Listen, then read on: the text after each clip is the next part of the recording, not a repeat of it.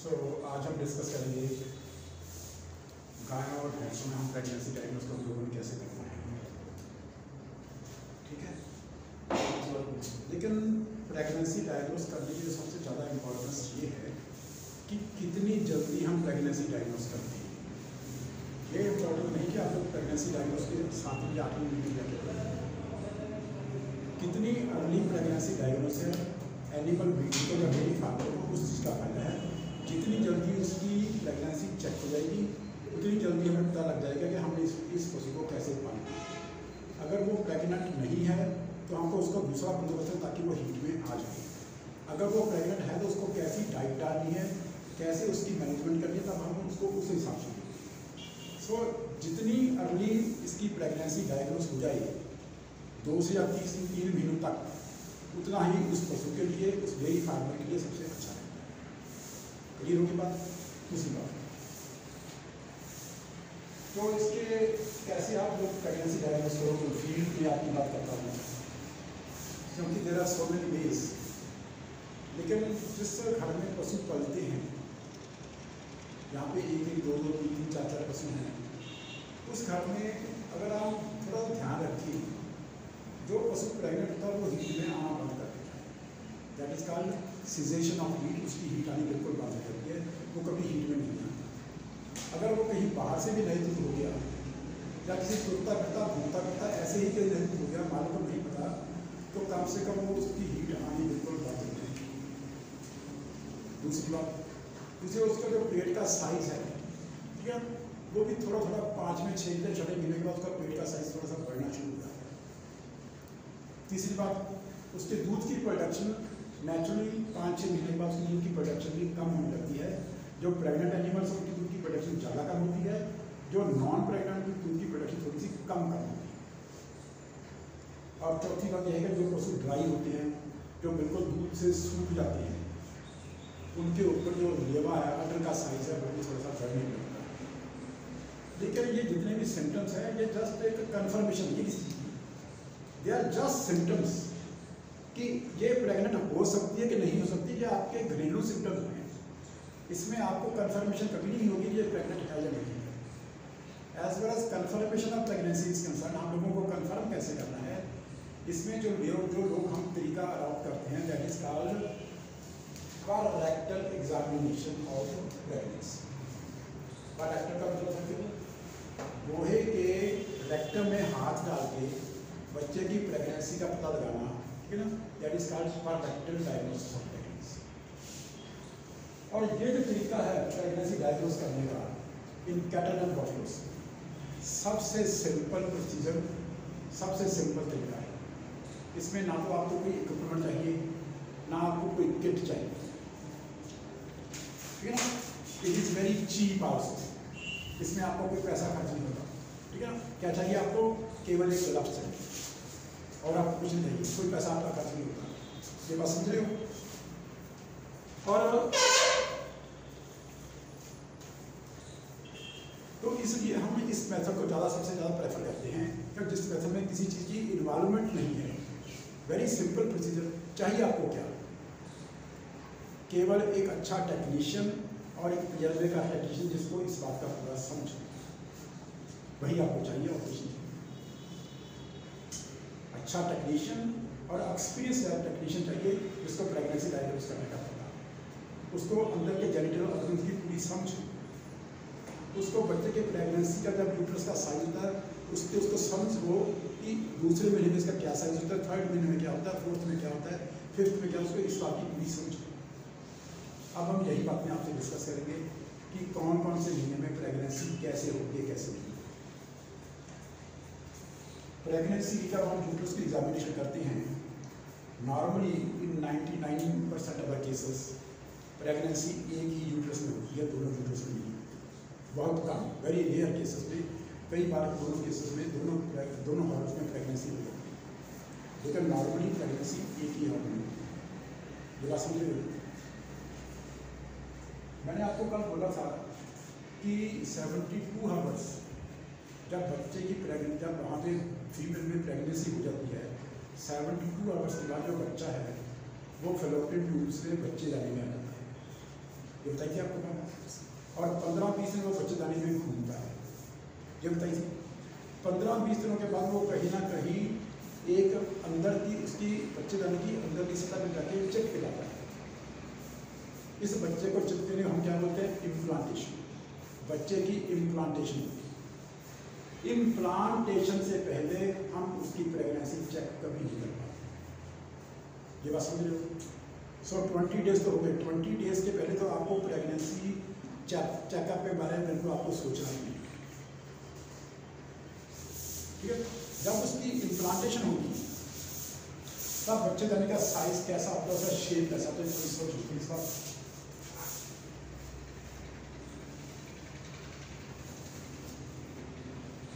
this is the shape of the uterus एक horn का shape ऐसे है ये इसकी अंदर की सतह है बच्चा, जहाँ भी चिपक सकता है, जहाँ भी चिपक सकता है, जहाँ भी हो सकता है, जहाँ भी किसी भी जगह है, बच्चे की इम्प्लांटेशन है? मान लो इसका बच्चा यहाँ पे चिपक गया बीस दिनों के बाद यहाँ चिपक गया तब इसकी यहाँ पर ग्रोथ शुरू हो। गई बच्चे का साइज़ बढ़ना शुरू हो ठीक है और बच्चे का साइज़ कैसे बढ़ता है? शायद आप, चलो उसको आपको ज़्यादा जाने की ज़रूरत है। यहाँ से बच्चे का साइज़ बढ़ता जाएगा। इतना हो गया, इतना हो गया, इतना हो गया, इतना हो गया, ऐसे इसका साइज़ बढ़ता जाएगा। जैसे जैसे बच्चे का साइज़ वो तो मैंने आपको बड़ी बच्चे बना दी ना। जब पहले दिन की बच्चे इतनी कैसी होती है? जैसे हमारी उम्र है। जस्ट लाइक ए फिंगर अंदर से अगर फिंगर हमारी खोखी हो तो बच्चे का साइज़ यही होता है। है इसके अंदर बच्चे को चिपकना है। जैसे जैसे बच्चे का साइज़ बढ़ेगा, वैसे वैसे बच्चे का साइज़ बढ़ेगा। जैसे जैसे बच्चे दानी में इसको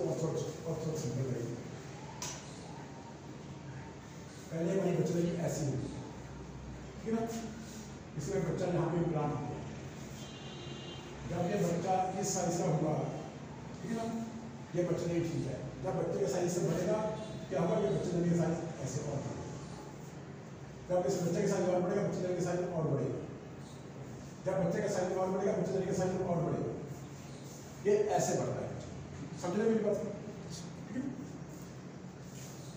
जब आप अपना हाथ अंदर इंसर्ट करते हो, क्या करना होगा? अपने हाथ पे ग्लव्स लो। उसको लुब्रिकेट करो insert your hand inside the leg वही वाली जगह उसका अपना हाथ डालो। सबसे पहले आपको सारा घोड़ा निकालना है।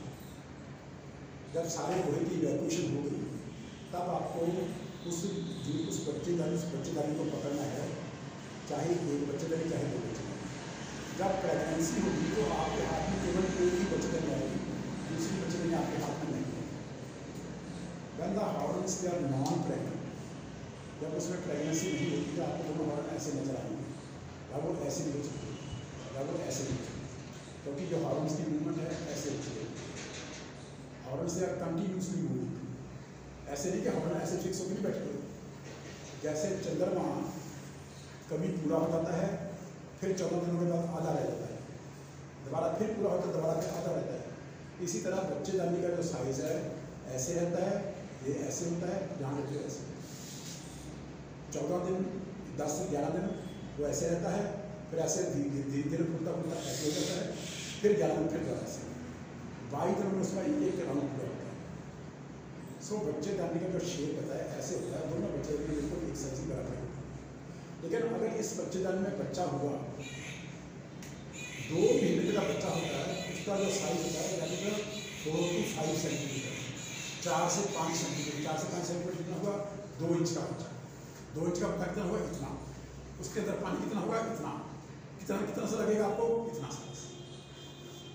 जब बच्चे जाने पे हाथ लगाओगे, आपको जैसे बैलून देखा आपने, मैं बताऊँगा कैसे आपको लोग प्रैक्टिस कर सकते हो। बैलून के अंदर पानी भर उसमें साठ एम पानी डाल दो। जितना उसका बच्चा, बैलून का साइज़ बनेगा ना, वो दो महीने का बच्चा। समझो मेरी बात? सुनो अगर उस बैलून में आप साठ एम एल पानी डालोगे, जितना उसका साइज़ बनेगा वो तकरीबन दो महीने का बच्चा यानी कि जब आप पर रेक्टम यूट्रस को ऊपर आपको यूट्रस को ऐसे नहीं पकड़ना, जब प्रेगनेंसी डायग्नोस करनी, तब आपने इंसेमिनेशन करनी, तब आप यूट्रस को कैसे सर्विस कैसे पकड़ते हो? ऐसे। आप उसको ऐसे पकड़ते जब आपने प्रेगनेंसी डायग्नोस करनी, तब आपको आपको यूट्रस को ऐसे नहीं पकड़ना। तब आपको उसको ऊपर ऐसे हाथ रखना। आपके हाथ के नीचे मान लो जो बैलून है और बैलून में पानी है तो आपको कैसा महसूस होगा? आपको ऐसे उसमें पानी छलकेगा, पता लगेगा ना? लेकिन अगर वो आपके हाथ से छोटा साइज़ का है, जो पानी का बैलून बच्चेदानी में बना है, आपके हाथ से छोटा है इट इज़ एन इंडिकेशन के दो या ढाई महीने की समझ रहे जब उसका साइज़ बढ़ के आपके हाथ के बराबर हो जाएगा। जितनी आपकी पाम है, उसके साइज़ के बराबर हो जाएगा। That is indication of three months pregnancy तीन महीने की प्रेगनेंसी और अगर आपने ऊपर हाथ लगाया ऐसे ऊपर,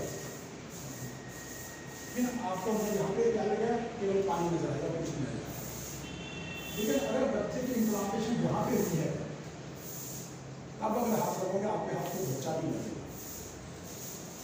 बच्चा आपको ऊपर नीचे जाता है पता लगेगा, आपको बच्चा ऊपर नीचे जाता है। पर तब आपको पता लगेगा, अगर बच्चे की इम्प्लांटेशन ये ऊपर वाली तरफ़ है। अगर बच्चे की इम्प्लांटेशन नीचे वाली तरफ़ है तो आपको पता लगेगा, क्योंकि आपने हाथ हाथ का हम डाला है रेक्टम से डाला है। लेकिन बच्चा कहाँ नीचे है? ठीक है ना? अगर ऊपरी तरफ़ है तो आपको क्या पता लग जाएगा बच्चे का अगर नीचे तरफ़ है आपको बच्चे का पता नहीं सो थर्ड मंथ तक आप देखोगे ना आपके बच्चे जाने का साइज़ आपके बिल्कुल कान के बिल्कुल बराबर is pregnancy of third fourth month में उसका साइज़ बच्चे जाने बच्चे जाने का साइज़ आपके हाथ से बढ़ जाएगा इतना अबाउट दिस साइज़ आप उसके ऊपर हाथ करो आपका हाथ आगे हो जाएगा। आपका हाथ आगे हो जाएगा, आपको लगेगा बहुत बड़ा होता है पाँचवें महीने में इसका साइज़ और बढ़ जाएगा। आप हाथ लगाओ और आगे जाएगा।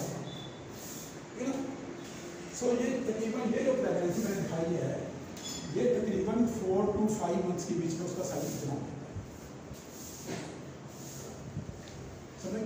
लेकिन चार पाँच महीने के बाद भी अगर आप थोड़ा सा उसमें हाथ टच करोगे ना, आपको उसमें चौथे महीने आपको फोर्टी डिग्रेड्स जो मैंने गांठी जो बच्चे जाने की गांठी थे वो आपको महसूस नहीं थी तो जैसे जैसे बच्चे का साइज़ बढ़ता है, वैसे वैसे बच्चे जाने की गांठें बढ़ती हैं, वैसे वैसे जेल की गांठें बढ़ती हैं। जब वो हॉर्न बिल्कुल नॉन प्रेगनेंट होता है तो गांठों का साइज़ कितना होता है। ना के डॉक्टर को आपको महसूस नहीं होता। लेकिन दूसरे महीने की प्रेगनेंसी में साइज़ इतना इतना हो। जाए तीसरे महीने में इतना हो जाए कभी आप जेल देखोगे ना, जब तीसरे महीने की जेल साथ में आएगी, उसमें गाना का साइज़ इतने चौथे में साइज़ इतना हो। जाएगा पाँचवें में गाना का साइज़ इतना हो जाएगा? जैसे जैसे प्रेगनेंसी बढ़ती जाएगी वैसे वैसे बच्चे जाने की गांठों का साइज़ भी बढ़ता रहेगा और चौथे या पाँचवें महीने में आपको बच्चे जाने की गांठें महसूस होनी चाहिए इसमें गांठें बढ़ रही समझा कि? लेकिन छठे महीने बच्चा बहुत आगे निकल जाता है। बच्चेदानी बहुत आगे चल जाती है। आपके हाथ में ना तो बच्चा आएगा, ना बच्चेदानी आपके हाथ में बच्चेदानी बच्चे के साइज़ बड़ा होने से, अंदर ज़्यादा पानी भरने से, ज़्यादा जेल बनने से, उसके वज़न से बच्चा आगे नीचे को चला जाता है, तब वो बच्चा आपके हाथ में करके आएगा आ भी सकता कई बार, पर तकरीबन ज़्यादा केसेस में छठे महीने के बाद प्रेगनेंसी का बहुत आगे चली जाती है, उसको हम बोलते हैं अब एबडामिनल आगे चली जाती है, उसमें बच्चा आपके हाथ में आएगा ना छठे महीने आएगा, ना सातवें महीने आएगा, ना आठवें महीने समझ नौवें महीने में या आठवें महीने के लिए वो बच्चा आगे से फिर पीछे आना शुरू होता है। तब पूरा बच्चा बन गया। होता है जब आठवें महीने के बाद पूरा बच्चा बन गया जब आप तब गए तो आपको लंबी सी उसके पैर नज़र आएँगे जो डांगू जैसे। आपको जैसे लगता जैसे कोई बाँस पड़ा है। ठीक है पर क्या होता है बच्चे के पैर पैर लगता है। या उसको आप, आपको उसका सर हाथ लग सकता है। बिल्कुल आपको है साटा शेप है। उसका मतलब ये प्रेगनेंसी इतनी बड़ी साइज़ है। लेकिन बात पाँचवीं छः सेवन मंथ की है, उसमें आप लोगों को कैसे पता लगेगा कि उसको प्रेगनेंट है कि नहीं? उसमें मैंने आपको बताया था आप ट्रैक्टर में हाथ डालोगे ना, हाथ डाल कर थोड़ा सा ख्याल रखना, उसके चारों तरफ़ हड्डी है। उसका मतलब पैर काम है। अगर तो इसको पाओगे, इधर भी हड्डी है, नीचे भी हड्डी है, इधर भी हड्डी है चारों तरफ़ हड्डी है। और इस तरफ़ राइट साइड पे एक जहाँ पे हड्डी के ऊपर हाथ रखोगे ना वहाँ पे आपको खून की नाली चलती लगेगी कैसे चलती है वो? ऐसे। That is called pulse that is called आप अपनी पल्स चलते हो आपका हाथ अपनी ऊपर को पता लगेगा इसमें ऊँची ऊँची कोई चीज़ चल रही है। जब खून चलता है ऊपर जाएगी फिर नीचे जाएगी। ऊपर जाएगी इसी प्रकार वो जो हड्डी के इससे काफ़ी मोटी होती है। जब उसके ऊपर आप हड्डी के ऊपर हाथ रखोगे, आपको उसमें जाता नज़र आएगा, उसकी पल्सेशन आपको महसूस होगी। अगर उसमें पल्सेशन चल रही है क्या इसका मतलब कम से कम पाँच महीने की प्रेगनेंट हो लेकिन विद एक्सपीरियंस जितना उसकी पल्सेशन ज़्यादा होगी, उसका आर्टी का साइज़ बड़ा होगा उतनी उसकी प्रेगनेंसी भी ज़्यादा और सातवें आठवें महीने में वो ऐसे ऐसे चलती है, बहुत तेज चलती है, क्योंकि बच्चे को खून माँ से बहुत ज़्यादा चलता है। उतनी स्पीड से खून चलता है लेकिन उतनी आपको पल्सेशन ज़्यादा महसूस सो छठे सातवें और आठवें महीने में आप लोगों को प्रेगनेंसी डायग्नोस कहाँ से करनी है? उस आर्टरी से करनी है, जहाँ से माता से अपने बच्चे को जाता है। उसमें आप आपको इतना आंसर करना पड़ेगा बस। समझा की बात?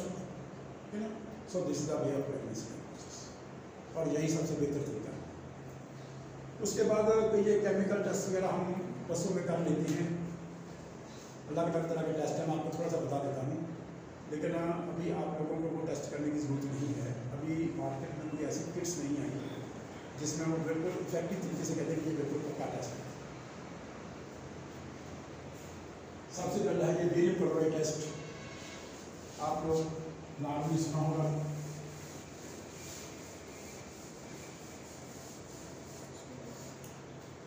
इसका क्या है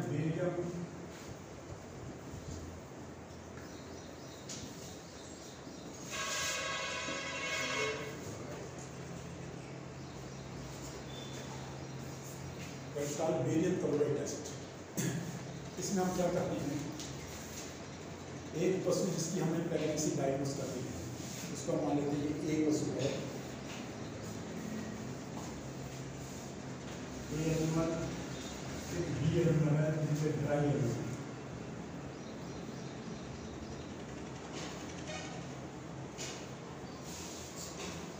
इस पशु का हमने प्रेगनेंसी डायग्नोस एक पशु की हम इसका पाँच एम एल यूनिट कहते हैं पाँच एम एल इसका यूनिट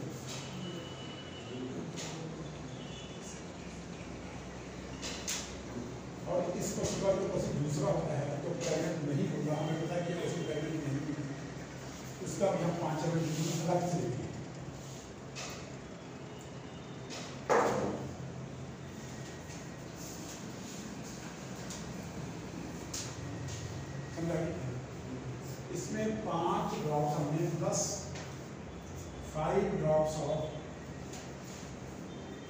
परसेंट वेरिएबल है पाँच अगर यूरिया उसमें पाँच ड्रॉप डाल दिया, वो वेरिएबल है एक परसेंट टेम्परेचर वेरिएबल है। वो उसमें डाल ऐसे इस इस गाय के यूरिया में भी हमने पाँच अगर यूरिया उसमें पाँच ड्रॉप डाल थोड़ी देर आप उसको रख दो। अब आपको प्रेगनेंसी डायग्नोस का कैसे पता चलेगा? इसमें बेसिकली हम लोग क्या करते हैं, जिस पशु के जुगल में ईस्ट्रोजन हार्मोन होगा, जिस पशु के जुगल में ईस्ट्रोजन हार्मोन होगा, उसमें वहाँ पे ये जो हम इससे मिक्स करेंगे वहाँ पे प्लास्टिक वो गंदला सा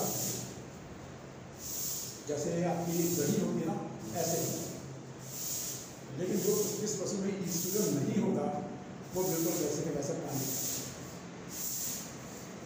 उसमें यूरिन बिल्कुल पानी का पानी कैसे अब आपको कैसे पता लगे प्रेगनेंसी और नॉन प्रेगनेंसी का? हम इसमें क्या चीज़ करते हैं कि जिस पशु की हमने प्रेगनेंसी चेक करनी है उसमें ईस्ट्रोजन हार्मोन है कि नहीं? प्रेगनेंट पशु में कौन सा हार्मोन होगा उनमें ईस्ट्रोजन नहीं होता।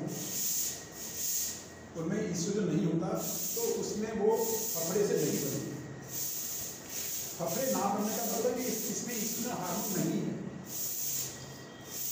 ये तो जो फैसला केवल ईश्वर जो हार्मोन का होता है। काका का बात करनी हो तो देखो तो। हेलो? एक तो बात करनी तो कर लो। सो वेरी इंपॉर्टेंट प्रश्न ठीक रहता है भी एस कसम की ईश्वर हार्मोन क्या कहने का ਜਿਹੜਾ ਪਸ਼ੂ ਨਾਨ ਪ੍ਰੈਗਨੈਂਟ ਹੈ ਉਹਦੇ ਵਿੱਚ ਹਮੇਸ਼ਾ ਈਸਟ੍ਰੋਜਨ ਹਾਰਮੋਨ ਯੂਨਿਟ ਹੋਊਗਾ ਮੈਂ ਤੁਹਾਨੂੰ ਦੱਸਾਂਗਾ ਜਦੋਂ ਪਸ਼ੂ ਜਵਾਨ ਹੋ ਜਾਂਦੇ ਹੈ ਉਸ ਤੋਂ ਬਾਅਦ ਜਿਹੜੇ ਕੱਚੇ ਫੋਲੀਕਲ ਪੱਕਣੀ ਸ਼ੁਰੂ ਕਰ ਤੁਹਾਨੂੰ ਗੱਲ ਸਮਝਾਈ ਸੀ ਜੋ ਪੱਕੇ ਫਲ ਜੋ ਕੱਚੇ ਫੋਲੀਕਲ ਪੱਕਦੇ ਹੈ ਤਾਂ ਉਦੋਂ ਵਿੱਚ ਈਸਟ੍ਰੋਜਨ ਹਾਰਮੋਨ ਕਰ ਰਿਲੀਜ਼ ਹੋ ਗਿਆ जब कच्चे फॉलिकल पकते हैं मैंने आपको नहीं बताया जब कच्चे फॉलिकल पकने शुरू होते हैं तब पके हुए फॉलिकल में ईस्ट्रोजन हार्मोन बनता है। चाहे एक फॉलिकल पके या दो फॉलिकल पके या तीन फॉलिकल क्योंकि ये फॉलिकल पकने की जो अवस्था है, वो लगातार चलती रहती है, वो प्रक्रिया रुकती नहीं है, चलती रहती है। जब चलती रहती है तो ईस्ट्रोजन हार्मोन पैदा होता है। जब तक पशु प्रेग्नेंट ना इसलिए जो पशु नॉन प्रेग्नेंट होगा, उसमें ईस्ट्रोजन हार्मोन हमेशा पेशाब में है सो नॉन प्रेग्नेंट पशु में जिसमें केवल ईस्ट्रोजन हार्मोन है, उसमें इस टेस्ट के साथ वहाँ पे प्रेसिपिट्स बन जाएँगे और जो पशु प्रेस जो पशु प्रेगनेंट है, जिसमें प्रोजेस्टन हार्मोन पैदा हो रहा है, उसमें ये नहीं समझाइए बात? अब अगर अगर हम इस बात को सोचें तो जितने भी पशु प्रेग्नेंट होंगे, उन सभी में तो प्रोजेस्टन हार्मोन होगा ही होगा। ठीक है ना? तो उसमें तो प्रेसिपिटेट्स नहीं बनेंगे। पर कहाँ पे आती है? जिन पशुओं को हम खाने के लिए बाहर छोड़ते हैं, घास फूस वो बाहर से खाते हैं, या चर चर के बाहर आते हैं, जितनी भी बाहर की घासें हैं, सभी घासों में ये ईस्ट्रोजन हार्मोन होता है। अगर पशु बाहर चल के आए हैं तो उन्होंने जो घास खाई है उसमें इंसुलिन हार्मोन होगा, चाहे वो पशु प्रेगनेंट हो। उसमें ये टेस्ट, उसमें प्लास्टिक बन जाएँगे। तो आप बोलोगे ये नेगेटिव है पर एक्चुअली उसमें इसलिए इस टेस्ट की जो व्यवस्था है, हम प्रैक्टिकली इसे करते नहीं हैं, क्योंकि it is not a converted test बता आपको इसलिए किया, चलो आप लोगों को इसके बारे में थोड़ी समझ होनी चाहिए। ठीक है? Basically there are so many private companies जो किट्स लेके आ रही हैं। ये वेरी इंपॉर्टेंट किट्स लेके आ रही हैं। ठीक है ना? तीन सौ रुपये की किट देते हैं। घर ले जाओ प्रसाद में लाओ अगर पैसे किट बन गए तो वो बोले बोलेंगे खाली है। अगर भी नहीं मिले तो करेंगे ठीक है ना? लेकिन it is not a hundred percent effective test लेकिन ये टेस्ट हम कब कंडक्ट कर सकते हैं? जो हम पर एक्टिव एग्जामिनेशन करते हैं, वो हम किस एज में करते हैं? At the age of minimum two and half three months ढाई महीनों के बाद पता लगा कि प्रेगनेंसी है। लेकिन ये टेस्ट कंडक्ट था after every thirty thirty days की प्रेगनेंसी के बाद ये टेस्ट पॉजिटिव आ ये इसका सबसे बड़ा फ़ायदा समझाने बात की दूसरी बात है अल्ट्रासोनोग्राफी अल्ट्रासोनोग्राफी जैसे हमारे इंसानों में औरतों की प्रेगनेंसी डायग्नोज करते हैं, वो अल्ट्रासाउंड से बच्चे को देखते हैं। अल्ट्रासाउंड से बच्चे को क्या कुछ देखते हैं? वो केवल बच्चे की कार्डियो बीट्स हार्ट की बीट्स चेक करती है एक बात। दूसरी जब प्रेगनेंसी होती है, एक तो हार्ट की देखती है दूसरी जब प्रेगनेंसी के प्रेगनेंसी होती है तो बच्चे के बाहर सारा पानी इकट्ठा हो जाता है। उसमें अल्ट्रासोनिक के जो वाइब्रेशन आती हैं, उसकी फ्रीक्वेंसी बदल जाती है। उसका लचीलापन बदल जाता है। तो उससे मैं पता चला पशु प्रेगनेंट है कि नहीं? लेकिन इस प्रोसीजर में भी आपको शायद पता नहीं, जो अल्ट्रासाउंड मशीन है हमारी हमारे कैटल डॉक्टर्स में, उसको हमें हाथ से पकड़ के रेक्टम के अंदर लेके जाना पड़ता जैसे आप प्रेगनेंसी डायग्नोस करते हो, उसी प्रकार हाथ में मशीन के, ऐसे मशीन के उसको अंदर लेके जाना पड़ता है और उसको बच्चे दाने के ऊपर उस मशीन को ऐसे मूव करना पड़ता है। जब बच्चे दाने के ऊपर मूव करेंगे तो वहाँ सामने उसकी फोटोग्राफ आती रहती है और पता लग जाता है कि ये बसंत पहले से प्रेगनेंट है लेकिन फ़ायदा क्या है? अगर हम, अगर हमने हाथ ही अंदर लेके जाना है, हाथ को बच्चे दानी के ऊपर ही फेरना है तो फिर तो हम खुद ही उसकी प्रेगनेंसी डायग्नोस कर सकते हैं। और फ़र्क कितना है? हम प्रेगनेंसी डायग्नोस है ढाई से तीन महीने की। जहाँ पे जो प्रेगनेंसी डायग्नोस होती है, वो थर्टी से फिफ्टी डेज़ की ये इसका है। इसमें थर्टी डेज़ के बाद इसकी प्रेगनेंसी डायग्नोस हो जाती है। ये इसका फ़ायदा है, ठीक है ना? लेकिन it is a very very costly इसमें जो टेक्नीशियन चाहिए, उसको भी इस काम के बारे में पूरा नॉलेज चाहिए। उसको मशीन को कैसे चलाना, उसको आगे स्टडी कैसे करना, उसकी इसकी स्टडी बिल्कुल पूरी चाहिए। समझा गई बाकी ये दूसरे दो दो टेस्ट हैं, ये बोलते हैं इसको प्रेगनेंट वेयर सीरम टेस्ट ये केवल घोड़ियों में प्रेगनेंसी डायग्नोस के लिए होता है।